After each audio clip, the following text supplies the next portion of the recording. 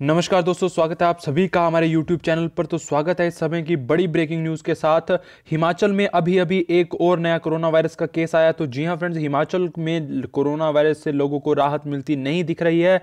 अभी कुछ समय पहले जो है एक नया केस आया है। तो पूरी जानकारी और पूरी वीडियो को अंत तक देखेगा ताकि आप यहाँ से आधी दूरी जानकारी लेकर ना जाएँ। और कुछ अन्य खबरें भी जो साथ में जो इससे जुड़ा खबर है, वो भी आप इस वीडियो में देखेंगे।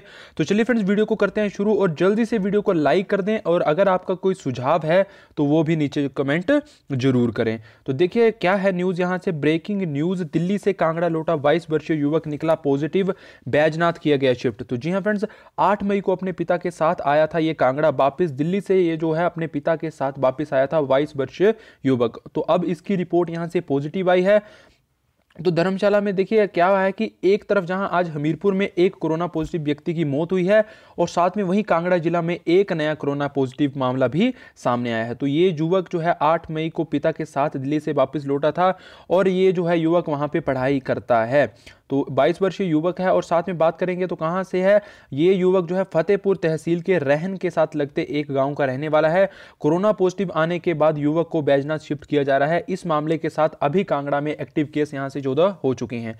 और कुल मामलों की बात करेंगे तो कांगड़ा में उन्नीस अभी तक केस आ चुके हैं और हिमाचल की बात करेंगे तो आंकड़ा जो है वो छिहत्तर हो चुका है और एक्टिव केस भी यहाँ से चौंतीस हो चुके हैं, जिसमें की तादाद जो है लगातार बढ़ती जा रही है।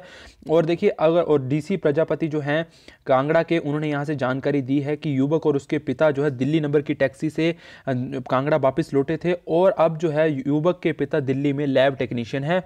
और इसके अलावा जो है, अब उनकी पूरी फैमिली जो थी, वो होम क्वारंटाइन में था ये युवक और उसके बाद जब इसके लक्षण और सैंपल चेक किए गए तो इनकी रिपोर्ट यहाँ से पॉजिटिव पाई गई है। तो अब इसके जो फैमिली है, उसका भी यहाँ से सैंपल लिया जाएगा और साथ में उनकी भी रिपोर्ट आना का यहाँ से इंतज़ार रहेगा। तो इस प्रकार से फ्रेंड्स, ये था छोटा सा अपडेट। आई होप जानकारी आपको लाभदायक लगी होगी। तो वीडियो को करें ज़्यादा से ज़्यादा शेयर, चैनल को सब्सक्राइब भी और वीडियो को लाइक भी। और कोई सुझाव है तो वो नीचे ज़रूर कमेंट करें।